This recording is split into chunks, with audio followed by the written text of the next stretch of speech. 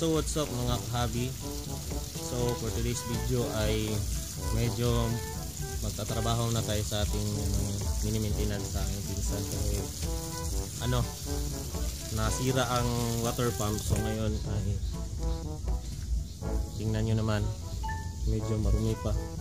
So ang tubig na lang dito is ano flowing. Yun yung nagdipo sa banda doon yun yung pinapa uh, pinapa agos para magkaroon ng filtration. So uh, siguro to. Kaya tingnan nyo naman. Napaka ano dito. Napaka maraming ano talaga lilinisin lilinisin. So samahan niyo ako mga kahabi. So yung balde dito hindi ko nagamit. So lilinisan ko naman ulit. So kung sa mga nagtatanong kung anong gamit ko na water pump dito sa ito sa pinsan ko is ano to? Industrial na submersible pump. Ito yung ginagamit sa ano yung iba sa may fish pad na maliit. Kasi malakas kasi to. Iwan ko kung ilang horsepower to pero parang ano to? Parang um, mga ano yata. 2 mga ganun yata. So ang lakas ng ano niya. Ang lakas ng ano talaga buga. So kaya niya dalawa. So ang setup ko dito is dalawang dalawang, dalawang filter bucket sa isang ano ang style dito. Yan so dito ang style dito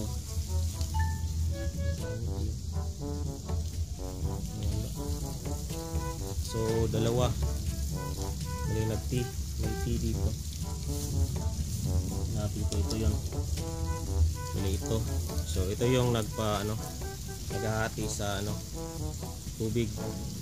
Kasi malakas siya. So 3 port ang kanyang ano PVC so luma na to. So gagamitin ko na lang ito.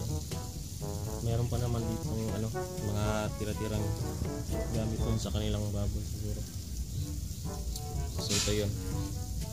50 tapos i-connect nyo lang dito ang dalawang PVC tapos doon na siya. Yun yung may PVC doon. So, mahati siya. Kasi malakas kasi ang agos tingnan nyo. So, sobrang lakas ng agos niya no?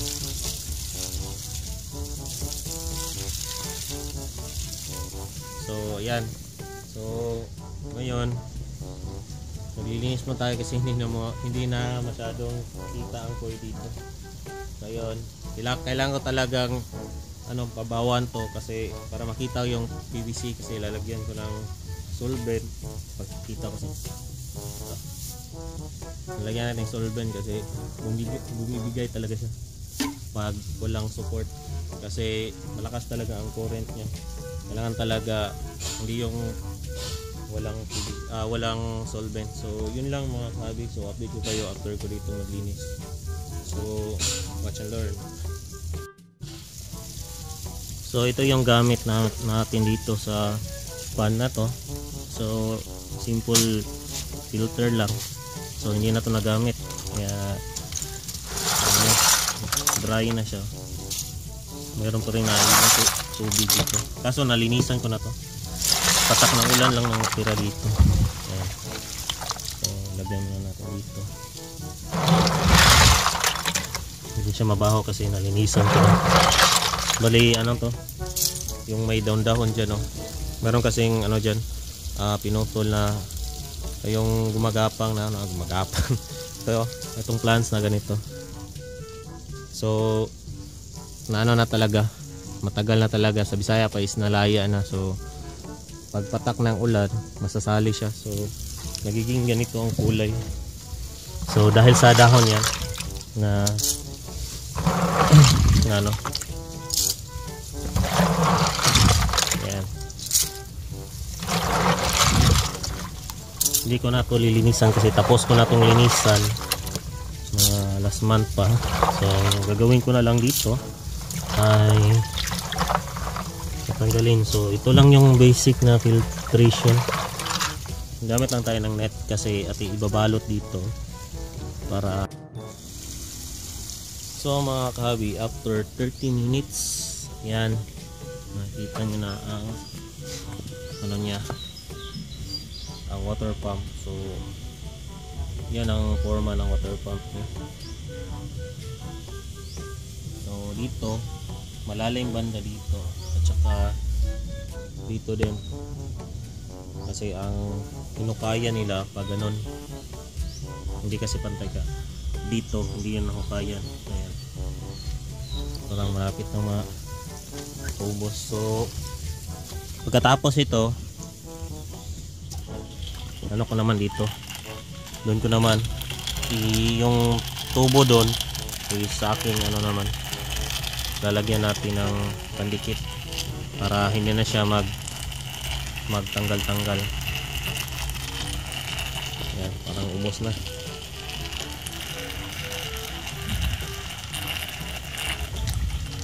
Ayan. Ayan.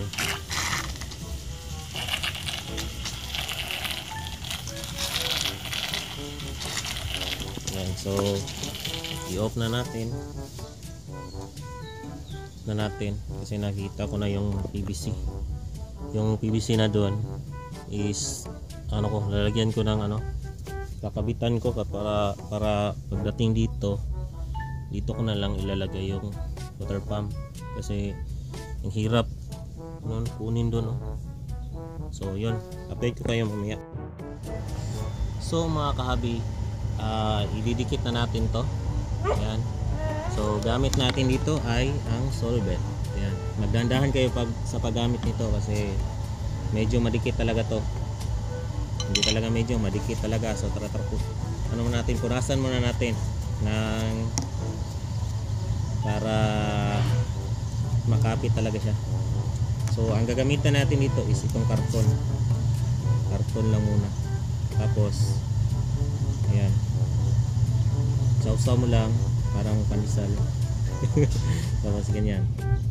Ayan hirap mo lang ng pa round ayan masyadong marami kasi pipil didikit na to. Ayan So, lagay na natin dito ang PVC na elbow. Yan, tapos na. Sumubra yata ako paglagay. Ayan.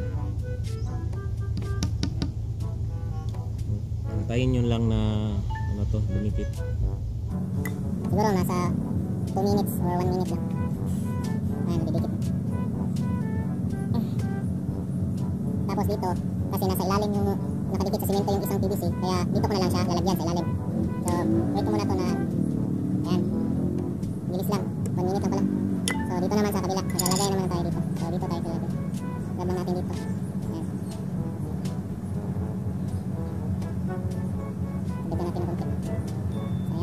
na, lock na, lock na to kasi madali mag-ano siya. Sige, tapos na. So, ilalagay ko muna to. Hindi ko muna napakita kasi mahi- mahirap ah, nasa ilalim ng, ng kulay sa pan. So, update ko kayo pagkatapos. So mga kahabi, naka-set up na ako dito. Ayan. Ito yung setup natin. Nakati siya. Ayan. Kung makikita nyo, yung water pump niya is industrial to. So, so malakas. So pwedeng dalawa. So tilang to. Tapos kinonek. Tapos hanggang doon. Tsaka doon ang isa. So sa nagtatanong dyan is industrial talaga to hindi ko kasi mapakita dati kasi minsan lang ako nagpapa ano mag water change nang magkita talaga ang kasi nasa ilalim kasi to ngayon ginago ko kasi kinagat ng aso yung ano nila yung dito so bago na ang ano at saka nasira din to bago lang to na pa ano lumana So, dito lang, nilagay ko na lang dito instead dito sa ilalim kasi nahirapan ako. So, makikita nyo itong bago na ano, PVC. Ayan. Diyan nakakonect kasi may ano yan, nakasemento. So, nag ano ko na lang, dinugtungan ko na lang tapos ayan. Hanggang dito na yan. So, masasample natin itong mamaya kung hindi na ba ito mag-delete. Ayan. Matagal pa to kasi dalawa lang na anong ginamit ko dito. Gripo lang ko nito. Pero hindi to nawasa ano to ah ah, deep well. So ayan. Medyo matatagalan pa ako dito. So update ko na lang kayo mamaya kasi ang isda dito na. Tsaka mamaya pang update nito. So dito, merong goldfish dito na parating nasa filter box. Dating filter box dito. Ngayon, nandito na sila. Yan. So, yun lang muna mga kahabi ang update natin. So, salamat sa inyong panonood. Tsaka, ah, wait ko na lang, wait na lang na mapuno to. Tapos, ano ko, i-join ko ulit. So, God bless. Happy New Year. At ito na mga kahabi is success ang ating ginawang setup ulit so ang nangyari nito is nasira itong ano talaga ito talaga yung main sa ano sa PVC na to ay hindi sa hindi to PVC is ito talaga yung sa water pump na submersible pump sa China galing so ito talaga yung original So namumblema ako, pum- pumunta ako sa Shopee, meron sa Shopee pero malayo, China. So ang ginawa ko, pumunta na lang ako sa mga hardware at meron nga itong nabili oh. Ito. Pero adapter tong isa, yung black is kapareho nito. Kapareho nito pero wala siyang ganito, yung parang merong kubo. Galang ganito lang. So same lang naman siya, meron lang tagas kunti. Kunti lang naman yan.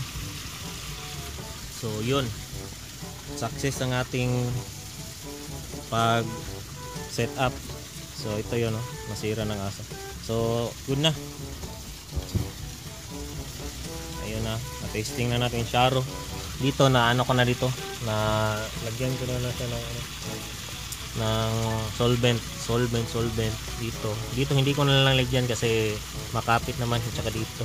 Kasi pag tatanggalin ko matatanggal ko pa rin. So ayan. Ang ganda na tingnan. Dito mag ano talaga siya? Dito nalagyan ko naman yan. Dito rin. Hindi ko nalagyan dito dito lang. So ayan maganda na tingnan so mamaya pa to mapupuno so wait na lang ako magkakapin lang muna ako So, yun yung mga kabi. Salamat sa panonood and Merry Christmas and uh, advance Happy New Year sa ating lahat. So, ipag-pray natin yung mga fish keeper natin sa Bohol at saka Cebu, Leyte, at saka Bacolod kasi nawawala, nawalan sila ng kuryente. Uh, magto 2 weeks na yata. So, ano, mga isda nila doon is kanya-kanyang diskarte sila. So, ganyan talaga ang buhay mga kahabi. Ipag-pray na lang natin na makarecover sa ating mga kahabi doon. So salamat sa panonood and God bless